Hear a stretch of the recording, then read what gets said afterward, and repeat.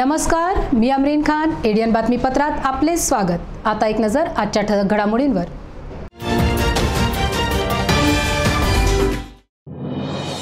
कोरोनाग्रस्त रुग्णांची संख्या कमी होताच कोविड लसीकरण करणाऱ्या नागरिकांची संख्या रोडावली. लसीकरणाचा लाभ घेण्याचे आरोग्य विभागाचे आवाहन रिक्षा चालकांसाठी जाहीर केलेलं अनुदान त्यांच्यापर्यंत पोहोचत नसल्याची रिक्षा चालकांची तक्रार. अनुदानात वाढ करण्याची ही मागणी. अत्यावश्यक सेवेसाठी सायंकाळी सात वाजेपर्यंत मिळणार पेट्रोल आणि डिझेल जिल्हा प्रशासनाचा निर्णय. रेमडेसिवीर इंजेक्शन चोरीनंतर आता ऑक्सिजन चोर गंगापुरात अवतरले. ऑक्सिजन चोरी करत असतानाचा व्हिडिओ सोशल मीडियावर व्हायरल.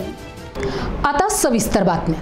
कोरोनाबाधित रुग्णांची संख्या औरंगाबाद शहरातून कमी झाली. त्या पाठोपाठ कोविड लसीकरणासाठी नागरिकांची गर्दीही कमी झाल्याचे चित्र गुरुवारी शहरात पाहावयास मिळाले. कोरोनाच्या दुसऱ्या लाटेत बाधित रुग्णांची संख्या वाढतच असल्याने कोविड सेंटरसह खासगी व सरकारी रुग्णालयातील बेड्स अपुरे पडत होते. दररोज हजार ते पंधराशे रुग्ण बाधित होत होते.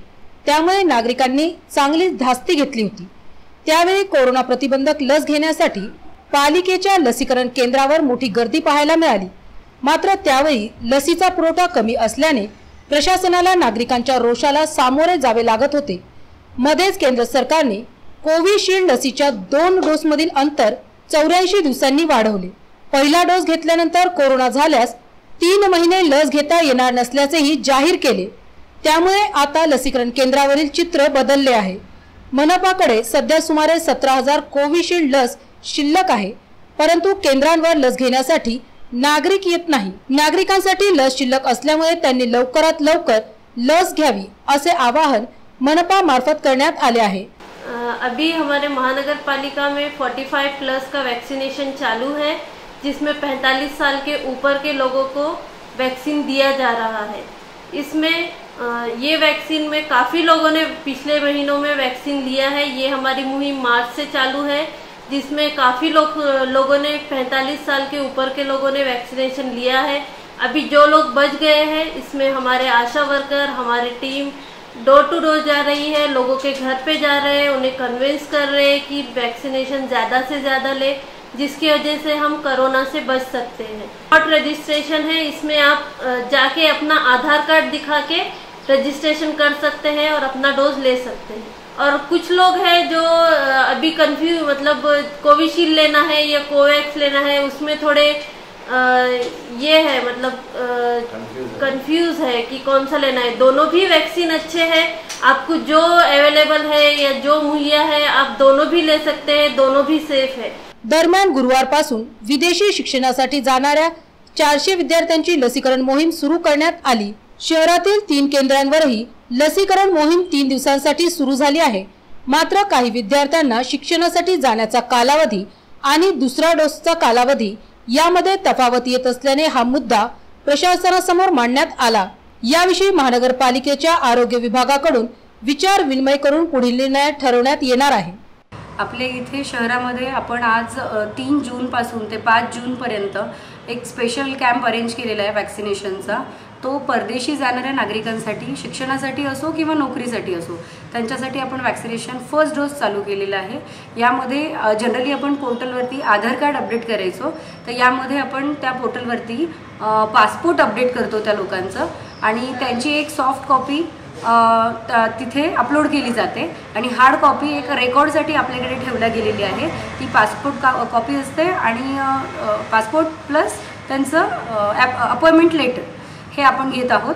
आणि आत्तापर्यंत माझ्याकडे फोर्टी टू वॅक्सिनेट झालेले आहे चांगला उपक्रम केला आहे की आमच्यासाठी लसीकरण सुरू केलं आहे यांनी. आणि मी पहिला डोस घेतला आहे माझा आज. आम्ही तीन चार दिवसांआधीच रिक्वेस्ट टाकली होती आणि आदित्य ठाकरेंनी आणि नंतर महानगरपालिकेने मिळून लगेच तीन दिवसांसाठीचा हा कार्यक्रम सुरू केला. फक्त एक रिक्वेस्ट अशी आता की काही स्टुडंट्सला दुसऱ्या डोससाठीची जी मुदत आहे ती साठ दिवसांवर केली तर बरं पडेल. कारण ऑगस्टमध्येच बऱ्याच स्टुडंटला जायचं आहे बाहेर. तर चौऱ्याऐंशी दिवसात ती दुसऱ्या त्यांचा डोस कंप्लीट होणार नाही. तर पहिला दुसरा डोस कंप्लीट करायचा असेल तर साठ दिवसांनी दुसरा डोस दिला तर बरं होईल. इथे सगळ्या सवलती बघून खूप छान वाटलं आणि आमच्या आरोग्यासाठी महानगरपालिका इतकी झटते आम्हाला इतकं प्रोव्हाइड करते आम्हाला सेवा प्रोव्हाइड करते ते बघून आम्हाला खूप आभार वाटतं त्यांचं. आणि ही सेवा देण्यासाठी आम्ही निश्चितच महानगरपालिकेचे आभारी आहोत. शहरात मंगळवारी सायंकाळी विजांच्या कडकडाटासह पावसाने हजेरी लावली. यात अनेक ठिकाणी घरांमध्ये पाणी शिरले असून झाडेही उन्मळून पडली आहे जिल्ह्यात सलग चौथ्या दिवशी पूर्व मोसमी पावसाने हजेरी लावली. काही भागात सायंकाळी उशिरा जोरदार पाऊस झाला. पावसासाठी पोषक वातावरण तयार झाल्याने दरवर्षीच्या तुलनेत राज्यात पूर्व मोसमी पावसाचे प्रमाण वाढले आहे. दरम्यान बुधवारी सायंकाळी झालेल्या पावसामध्ये शहरातील काही भागांमधील घरांमध्ये पावसाचे पाणी शिरले. तर काही भागांमध्ये झाडे उन्मळून पडली. औरंगाबाद तहसील कार्यालय परिसरामध्ये असलेल्या झाडाचा काही भाग पावसामुळे तुटून पडला. या झाडाबाबत प्रशासनाच्या वतीने महानगरपालिका प्रशासनाकडे झाड धोकादायक स्थितीत असल्याचे व केव्हाही पडणार असल्याचे आधीच कळवले होते. त्यानंतर त्याचा काही भाग तुटून पडल्याने या झाडाचा उर्वरित भाग धोकादायक स्थितीत असल्याने तोडण्यात आला. काल रात्री झालेल्या पावसामुळे शहरातील सोनार गल्ली हनुमान मंदिर येथील लिंबाच्या झाडाची फांटी तुटून घराच्या पत्रावर पडली. सुदैवाने कोणतीही हानी झाली नाही. पैठण रोडवरील धनगाव नजीक भंडारी इंडस्ट्री समोर मुख्य रोडवर झाडाची एक मोठी फांदी पडल्याने वाहतुकीस अडथळा निर्माण झाला होता. ओबीसी आरक्षणाविषयी राज्य सरकार जबाबदार असून या सरकारने सर्वोच्च न्यायालयात पुन्हा आरक्षणासाठी समक्षपणे मुद्दा मांडावा व आरक्षण मिळवून द्यावे अशी मागणी ऑल इंडिया मुस्लिम ओबीसी ऑर्गनायझेशनच्या वतीने पत्रकार परिषदेत करण्यात आली. 14 मार्च 2021 को सुप्रीम कोर्ट का जो एक निर्णय, जो फैसला हुआ ओबीसी रिजर्वेशंस के बारे में, स्थानिक स्वराज्य का रद्द किया है, उसके बारे में all India Muslim OBC organisations की ये डिमांड है कि जब तक सुप्रीम कोर्ट ने जिस तरीके से महाराष्ट्र गवर्नमेंट को ये डायरेक्शन दिए थे कि कृष्णामूर्ति बेंच के मुताबिक एम्पिटिकल डाटा दाखिल करो, वो दाखिल न करने की वजह से ये रद्द हो गया है। जब तक कि गवर्नमेंट वो एम्पिटिकल डाटा दाखिल नहीं करती है, एफिडेविट नहीं देती है, जब तक all India Muslim OBC organisation का कहना है कि महाराष्ट्र में स्थानिक सौ राज्य जो इलेक्शन होने वाले हैं, उसको आगे बढ़ा दिया जाए। क्योंकि जिस तरीके से विकास कृष्ण गौली ने सुप्रीम कोर्ट में एक रिट दाखिल की थी और उसने ये कहा था कि भंडारा, गोंदिया, नागपुर, अकोला और वासिम में 50 परसेंट जो रिजर्वेशन मिलना चाहिए था, ये उससे आगे चला गया है। इसके लिए इसके बारे में फैसला होना चाहिए। और इसीलिए सुप्रीम कोर्ट ने महाराष्ट्र गवर्नमेंट को 13 दिसंबर उन्नीस को दो 2019 को ये डायरेक्शन दिए थे कि आप एक एफिडेविट दाखिल करो।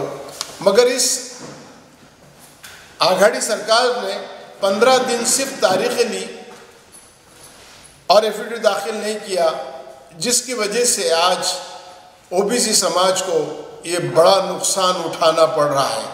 अगरचे ये विकास आघाड़ी पंद्रह महीनों में सिर्फ़ एक एफिडेविट दे देती कि हम ये सब कुछ कर रहे हैं, आपने जो डाटा मांगा है, हम देने वाले हैं तो ये कैंसिल नहीं होता है। इसके लिए हमारा कहना ये है कि अब गवर्नमेंट ने जल्द से जल्द ये डाटा बनाना सुप्रीम कोर्ट में दाखिल करना और इसके ऑर्डर्स लेना। नंदनवन कॉलनी येथे मनपाच्या मालकीच्या भूखंडावरील अतिक्रमण मनपाने निष्कासित करीत भूखंडाचा ताबा घेतला. याबरोबरच त्रिमूर्ती चौकातही अतिक्रमण हटवण्यात आले. नंदनवन कॉलनी भागातील एका भूखंडावर महापालिकेचे नाव आहे. गुरुवारी अचानक या भूखंडावर काही जणांनी मिळून लोखंडी पत्रे लावण्याचे काम सुरू केले. या घटनेची माहिती प्रशासक आस्तिकुमार पांडे यांना मिळताच त्यांच्या आदेशाने अतिरिक्त आयुक्त रवींद्र निकम उपायुक्त अपर्णा थेटे घटनास्थळी दाखल झाले. त्यानंतर लगेच अतिक्रमण हटाव विभागाचे पथक दाखल झाले. महापालिकेच्या भूखंडावरील अतिक्रमण काढण्यात आले. मालमत्ता विभागाकडून जागेचा ताबा घेण्यात आला. बुधवारी महानगरपालिकेच्या वतीने त्रिमूर्ती चौक येथील दहा बाय बारा फूट जागेवरील अतिक्रमण काढण्यात आले. या ठिकाणी एका आजीबाईने दगडाच्या सहाय्याने प्लास्टिकचे ताडपत्री टाकून झोपडी बांधली होती. ती झोपडी जेसीबीच्या सहाय्याने निष्कासित करण्यात आली. याबरोबरच नारेगाव परिसरातील केम्ब्रिज शाळेजवळ अनधिकृत प्लॉटिंग करण्यात आले होते. या ठिकाणी प्लॉटिंगसाठी केलेल्या पार्टिशनसाठी वापरलेले सिमेंटचे खांब व अन्य साहित्य महानगरपालिकेच्या वतीने जप्त करून या ठिकाणी केलेले प्लॉटिंग निष्कासित केले. ही कारवाई पदनिर्देशित अधिकारी वसंत भोये सविता सोनोने आर एस राचतवार इमारत निरीक्षक सय्यद जमशीद यांच्यासह अतिक्रमण हटाव पथकाने पार पाडली.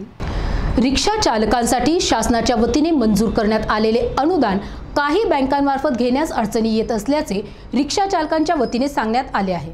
शासनामार्फत देण्यात येत असलेले अनुदान हे कमी प्रमाणात असून त्याच्यात वाढ करण्यात यावी अशी मागणी रिक्षा चालक मालक संघटनेच्या वतीने करण्यात आली आहे. सध्याचे अनुदान जाहीर करण्यात आले आहे. ते अनुदान काही बँकांमार्फत घेण्यास अडचण निर्माण होत असल्याचेही रिक्षा चालकांनी म्हटले आहे. याकडे प्रशासनाने लक्ष द्यावे अशी मागणीही करण्यात आली आहे. सरकार ने मदद करने की जो बात करी लेकिन वो ती, तीन महीने देर से करी और उसको जो है तो अभी पंद्रह दिन से ज़्यादा हो चुके हैं। अभी ऑनलाइन प्रक्रिया चालू है।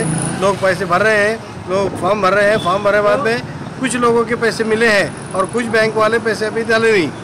तो हम चाह रहे हैं कि भाई जल्दी जल्दी इसकी प्रक्रिया करें और जल्दी जल्दी मदद मिले, ऐसा हमारा बोलना है। क्योंकि ये जो मदद दे रहे हैं तो ये परेशानी, बहुत सारी परेशानी रिक्शा वालों की है। रिक्शा वालों का धंधा बिल्कुल नहीं है। जब से लॉकडाउन लगा है जब से रिक्शा वालों का धंधा नहीं है। आज रिक्शा वाले परेशान हैं हाल में, और रिक्शा की तादाद ज़्यादा होने से रिक्शे का धंधा ख़त्म हो गया है। तो उसमें ये मदद उनकी मदद जो है, बहुत कम मदद कर रहे हैं सरकार। सरकार ने जो है तो हम हम चाह रहे थे कि सरकार हमको दस दस हज़ार से पाँच हज़ार तक मदद करे। जो सरकार ने जो मदद मंजूर की ये ज़रा लेट मिली। ये जल्दी मिलना चाहिए ये मदद। और हमारा इतना कहना है और ये लॉकडाउन जल्द से जल्द खुल जाना क्योंकि तो हमारे इसमें बहुत परेशानी हो रही। हमारी क्या सबकी परेशानी हो रही। इसलिए ये लॉकडाउन जल्द से जल्द खोला जाए और ये जो पैसों की प्रक्रिया है ये जल्दी मिलना चाहिए। गवर्नमेंट के पैसे अभी तक आए नहीं हमको। हम रिक्शा वाले परेशान हैं, कुछ भी धंधे नहीं है। और अभी चालू हुआ तो उसमें भी क्या है, दो छोटों पे जा रहे पब्लिक पैसा नहीं दे रही। जल्दी से जल्दी अगर पैसा डाले तो गवर्नमेंट की और शासन की परेशानी से हम खुश रहेंगे थोड़े बहुत। पंद्रह सौ दिए है गवर्नमेंट ने तो पंद्रह सौ में तो चलेंगे हम। उसके अंदर भी आपको सहायता मिलेंगी, हमारे को इसके लिए हम बहुत बहुत आपके आभारी रहेंगे। सुबह में खास गेट के पास में एक रिक्शा ड्राइवर इतना परेशान था कि वायर डालने के लिए पैसे नहीं थे उसके बाद में आज रिक्शा ड्राइवर भाई लोगों ने जो है तो जमा करके उसको वायर वायर उसकी मदद करे बेचारे की।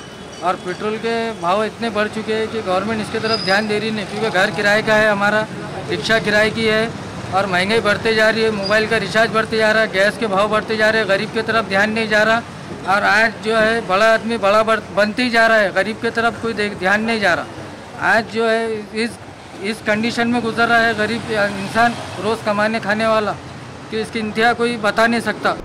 बातम्या अजूनही आहे मात्र वेळ होत आहे का छोट्याशा ब्रेकची कुठे जाऊ नका पाहत रहा एडीएन गैस सारिफिन की सहूलत के लिए भारत गैस का एक और बेहतरीन कदम। अब सिलेंडर बुकिंग के लिए फ़ोन कॉल करने की भी ज़रूरत नहीं। बुकिंग के लिए अब कीजिए व्हाट्सएप पर सिर्फ़ एक मैसेज। अपने रजिस्टर्ड मोबाइल नंबर से हाय लिखकर सेंड कीजिए और बुकिंग ऑप्शन एक पर क्लिक करें।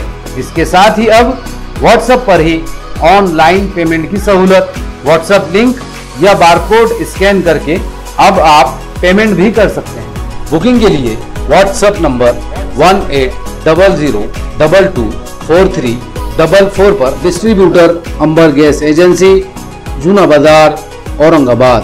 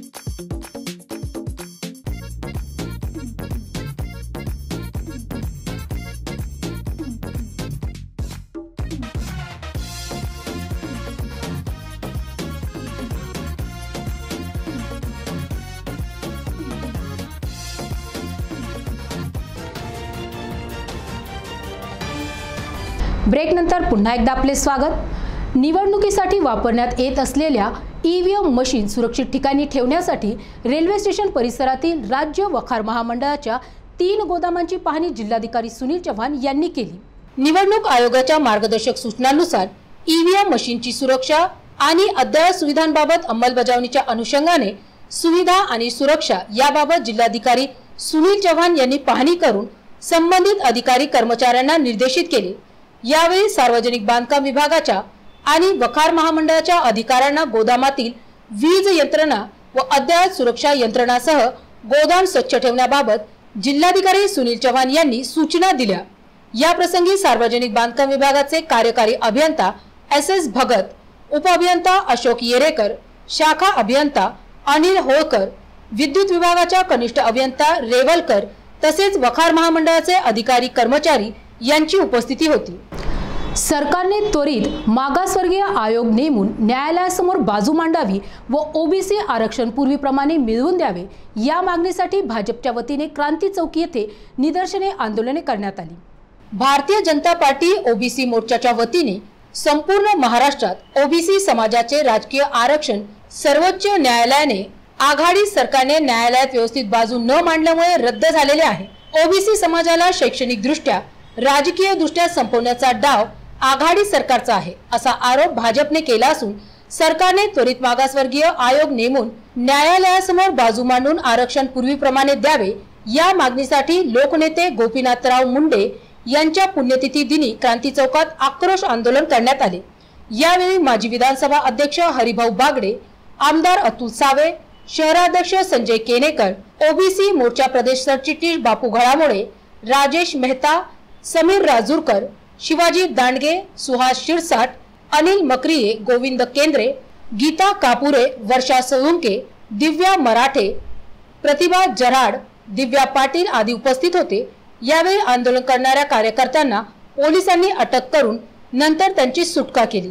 आज जे ओबीसीचं आरक्षण होतं आदरणीय डॉक्टर बाबासाहेब आंबेडकरांनी जे संविधानाच्या माध्यमातून ओबीसी समाजाला लोकप्रतिनिधी होण्याकरता जे आरक्षण मिळवून दिलं होतं आज त्याच्यामुळे जिल्हा परिषद असो नगरपालिका असो महापालिका असो ग्रामपंचायत असो जो ओबीसी समाज वंचित समाज या सगळ्या राजकारणापासून दूर राहत होता त्यांना एक संधी उपलब्ध करून दिली होती. पण या तिघाडी सरकारने उद्धव ठाकरेंच्या नेतृत्वामध्ये काम करणाऱ्या या सरकारने मराठा आरक्षणमध्ये पण जसं लक्ष घालायला पाहिजे होतं तसं घातलं नाही. आणि त्याच्यामुळेच आज मराठा समाजाचं आरक्षण पण रद्द झालं. मान्य देवेंद्र फडणवीस साहेबांनी सत्तेत असताना दुसरा कोणाच्याही आरक्षणाला धक्का न लावता मराठा समाजाला आरक्षण मिळवून दिलं होतं. आज ओबीसी समाजाचं पण आरक्षण. त्यांनी कोर्टातून रद्द झालं. त्याच्यामध्ये जसं लक्ष घालायला पाहिजे होतं तशा प्रकारचं कुठलंही लक्ष घातलं नाही. आणि त्यामुळेच ते आरक्षण रद्द झालं. आणि या ठिकाणी त्यांचा निषेध करतो. जर त्यांनी आणि जर ह्याच्यामध्ये लक्ष घातलं नाही ते आंदोलन अजून तीव्र करू असं आम्ही ठाकरे सरकारला आवाहन करतो. विद्यापीठाच्या कुलसचिव डॉक्टर जयश्री सूर्यवंशी यांच्या नियुक्तीबाबत गैरप्रकार झाल्याचा आरोप रिपाईचे नेते नागराज गायकवाड यांनी केला आहे. आमच्या काही ज्या तक्रारी होत्या विद्यापीठ प्रशासनाकडे आम्ही मांडल्या. त्याच्यामध्ये प्रामुख्याने जयश्री सूर्यवंशी यांच्या संदर्भात जर तक्रार म्हटली गेली तर त्यांनी आय बी पी महिला महाविद्यालय एकोणीसशे त्र्याण्णव ते दोन हजार आठपर्यंत बनावट जातीच्या आधारे म्हणजेच विजय एन टीचा जातीचा प्रमाणपत्र काढून त्यांनी त्र्याण्णव ते दोन हजार आठपर्यंत तिथं सेवा केलेली आहे. या अनुषंगाने आम्ही विद्यापीठ प्रशासनाकडे अनेक वेळा पाठपुरावा केला. तसे आम्ही आमच्या मार्फत विद्यापीठाला त्यांचे कास्ट सर्टिफिकेट त्यांना महाविद्यालयाने दिलेले तीन चारदा जात वैधता प्रमाणपत्र करून घेण्यासाठी पत्रव्यवहार या सर्व बाबी विद्यापीठ प्रशासनाला देऊनसुद्धा आणि विद्यापीठाने काही कारवाई केली नाही. त्याच्यानंतर बोरा समितीने नेमली. बोरा समितीने विद्यापीठ प्रशासनाच्या दबावाला पळून बळी पडून विद्यापीठ प्रशासनाच्या बाजूने अहवाल दिला. मग तदनंतर वि व्यवस्थापन परिषदेच्या बैठकीमध्ये आठ फेब्रुवारी दोन हजार एक एकवीस रोजी निमसे समिती नेमण्यात आलेली आणि त्याच धर्तीवर आपण निमसे समि समितीला काल विनंती केलेली आहे. याच्यामध्ये निष्पक्ष चौकशी व्हावे व्हावी आणि या या संदर्भातला निर्णय तात्काळ देण्यात यावा. आवश्यक सेवेच्या वाहनांसाठी शहरातील पंधरा पेट्रोल पंप सायंकाळी सात वाजेपर्यंत खुले ठेवण्याचा निर्णय जिल्हा प्रशासनाने घेतला आहे. जिल्ह्यात ब्रेक द चेनच्या नवीन नियमानुसार बाजारपेठा आणि पेट्रोल पंप सात ते दुपारी दोन या वेळेत सर्वसामान्यांसाठी सुरू राहणार आहे. मात्र अत्यावश्यक सेवांसाठी दुपारी दोन ते सायंकाळी सात वाजेपर्यंत शहरातील ठराविक पंधरा पेट्रोल पंप सुरू ठेवण्यात येणार आहे. इतर पेट्रोल पंप बंद राहणार असल्याचे परिपत्र मंगळवारी जिल्हाधिकारी सुनील चव्हाण यांनी काढले आहे. या पेट्रोल पंपामध्ये जळगाव हर्सुल टी पॉइंट येथील H P petrol pump Mahavir चौकातील बाबा पेट्रोल पंप क्रांती चौकातील पेट्रोल पंप दिल्ली गेट येथील पेट्रोल पंप टीव्ही सेंटर येथील पोलिसांचा पेट्रोल पंप चिकलठाणा येथील पोलिसांचा पेट्रोल पंप सेवन हिल येथील अंबरवाडीकरचा petrol pump railway station road जवळील लोळगे पेट्रोल पंप मुकुंदवाडी येथील जानकी सेवा पेट्रोल पंप सेवन हिल येथील जागृत पेट्रोल पंप पैठण रोडवरील Visarwadi highway petrol pump Beed बायपासवरील Narmada auto petrol pump Beed बायपासवरील Ramkrishna petrol pump Sharanapur फाट्याजवळील M Girija Samarth petrol pump Waluj Bajajnagar Pandharpur व इतर औद्योगिक वसाहतीसाठी नगर हायवेवरील petrol pump सुरू राहतील. पेट्रोल पंपावर येणाऱ्या सर्व वाहनांनी कोरोनाचे नियम पाळत असले पाहिजे याची काळजी पंपचालकांनी घ्यावी. सॅनिटायझरचा वापर या ठिकाणी करावा मास्क नसेल तर इंधन देऊ नये अशा स्पष्ट सूचना जिल्हाधिकारी यांनी या परिपत्रकातून दिल्या आहेत. दरम्यान जिल्हा प्रशासनाच्या या निर्णयाबाबत पेट्रोल डिझेल डीलर्स असोसिएशनचे अखिल अब्बास यांनी एडीएनशी बोलताना अधिक माहिती दिली आहे. एक तारीख के दिन उन्होंने शाम में हमारे को एक नया ऑर्डर मिला जिसमें उन्होंने चौदह पेट्रोल पंप सिटी के सिटी बोले तो औरंगाबाद वालू अपने बीड़ बाईपास ऐसा मिला के ये चौदह जन की लिस्ट है।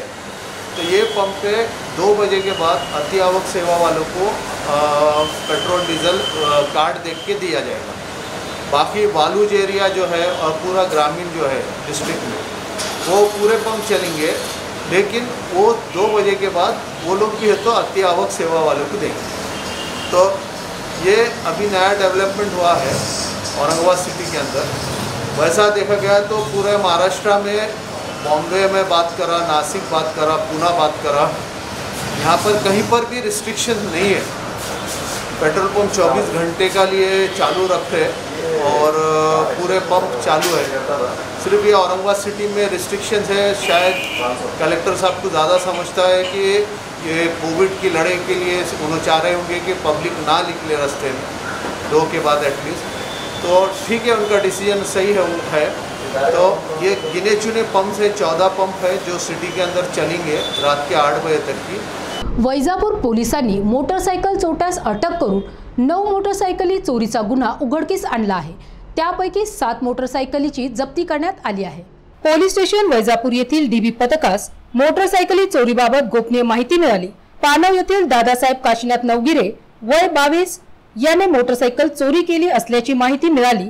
त्यावरून त्यास ताब्यात घेऊन विचारपूस केली असता त्याने सदर गुन्हा हा त्याचा मित्र विशाल भारत मस्के राहणार पानगव्हाण तालुका वैजापूर याच्या मदतीने चोरी केल्याचे कबुली दिली. त्यांनी सदर गुन्हा चोरी केलेल्या दोन मोटरसायकल व वैजापूर शहरातून इतर ठिकाणावरून सात मोटरसायकल चोरल्या होत्या. त्यापैकी सहा मोटरसायकल पोलिसांनी हस्तगत केल्या आहे व आणखी मोटरसायकल जप्त करण्याची प्रक्रिया सुरू आहे. सदरची कामगिरी पोलीस निरीक्षक सम्राट सिंग राजपूत यांच्या मार्गदर्शनाखाली पोलीस स्टेशन वैजापूर येथील डीबी पथकाचे PSI Jadhav police Naik Jalindar Tamnar police अंमलदार Vishal Paithankar यांच्या पथकाने केली आहे. गंगापूर उपजिल्हा रुग्णालयातून ऑक्सिजनची चोरी होत असल्याचा प्रकार उघडकीस आला असून या प्रकरणी गंगापूर पोलीस ठाण्यात तक्रार दाखल करण्यात आली आहे. उपजिल्हा रुग्णालय गंगापूर येथील डेडिकेट कोविड हेल्थ सेंटर वार्डमधून ऑक्सिजन चोरीचा प्रकार उघडकीस आलाय. येथील जम्बो सिलेंडर मधून ऑक्सिजन चोरणाऱ्याचा व्हिडिओ प्रसारित करण्यात आला आहे. जम्बो ऑक्सिजन सिलेंडर मधून अनंत कुमावत नावाचा इसम ऑक्सिजन चोरी करत असल्याची तक्रार वैद्यकीय अधीक्षक डॉक्टर रमेश पवार यांनी गंगापूर पोलीस स्टेशनलाही केली आहे. हा प्रकार एक जून रोजी उघडकीस आला. या चोरीचा व्हिडिओ व्हायरल झाल्यानंतर गंगापूर पोलीस ठाण्यात रीतसर तक्रार करण्यात आली आहे. अशा प्रकारे ऑक्सिजन चोरीचा प्रकार यापूर्वी झाला असून यामुळे उपजिल्हा रुग्णालयात उपचार घेत असलेल्या एखाद्या रुग्णास ऑक्सिजनची आवश्यकता असल्यास त्याच्या जीवितास धोका निर्माण होऊ शकतो असेही दिलेल्या तक्रारीत म्हटले आहे. औरंगाबाद जिल्ह्यात रेमडेसिवीर इंजेक्शन चोरी प्रकरणानंतर आता ऑक्सिजनच्या चोरीचा प्रकार समोर येत आहे. एडियन बातम्यांसाठी गंगापूर प्रतिनिधी वसीम सय्यद. आता काही बातम्या संक्षिप्त स्वरूपात. शासकीय वैद्यकीय महाविद्यालय व रुग्णालयामध्ये कोरोनाबाधित रुग्णांच्या उपचारासाठी काही डॉक्टर्स व नर्सिंग स्टाफ कंत्राटी पद्धतीने भरण्यात आला होता. त्यांना तीन महिन्यासाठी रुजू करण्यात आले होते. त्यांचा कार्यकाळ संपल्यानंतर त्यांचा कार्यकाळ वाढवून द्यावा अशी मागणी जिल्हाधिकारी कार्यालयाकडे करण्यात आली आहे. दरम्यान गुरुवारी घाटी रुग्णालय येथे डॉक्टर व नर्सिंग स्टाफची एक बैठक पार पडली. घाटीच्या अधिष्ठाता डॉक्टर काननबाळा येळीकर यांच्या प्रमुख उपस्थितीत पार पडलेल्या या बैठकीमध्ये त्यांनी डॉक्टर्स व सर्व कर्मचाऱ्यांना मार्गदर्शन केले. रेहमान या कॉलनीमध्ये विविध ठिकाणी रस्त्यावर पावसाचे पाणी साचले आहे. यात काही ठिकाणी ड्रेनेजचे पाणी मिसळले आहे. त्यामुळे जागोजागी रस्त्यावर तळ्याचे स्वरूप निर्माण झाले आहे.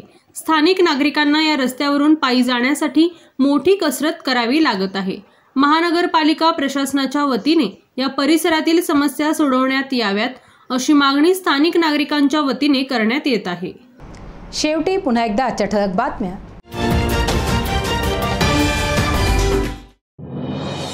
कोरोनाग्रस्त रुग्णांची संख्या कमी होताच कोविड लसीकरण करणाऱ्या नागरिकांची संख्या रोडावली. लसीकरणाचा लाभ घेण्याचे आरोग्य विभागाचे आवाहन. रिक्षा चालकांसाठी जाहीर केलेलं अनुदान त्यांच्यापर्यंत पोहोचत नसल्याची रिक्षा चालकांची तक्रार. अनुदानात वाढ करण्याची ही मागणी. अत्यावश्यक सेवेसाठी सायंकाळी सात वाजेपर्यंत मिळणार पेट्रोल आणि डिझेल जिल्हा प्रशासनाचा निर्णय. रेमडेसिवीर इंजेक्शन चोरीनंतर आता ऑक्सिजन चोर गंगापुरात अवतरले. ऑक्सिजन चोरी करत असतानाचा व्हिडिओ सोशल मीडियावर व्हायरल. आणि याबरोबरच हे बातमीपत्र इथे संपलं. पुन्हा भेटूयात पुढील बातमीपत्रात. तोपर्यंत पाहत रहा एडीएन